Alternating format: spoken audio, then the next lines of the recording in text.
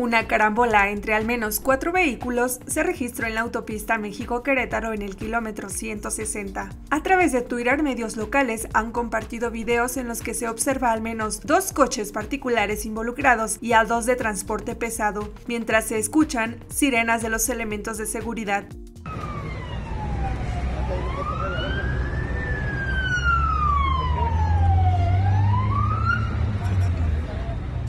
Pedo.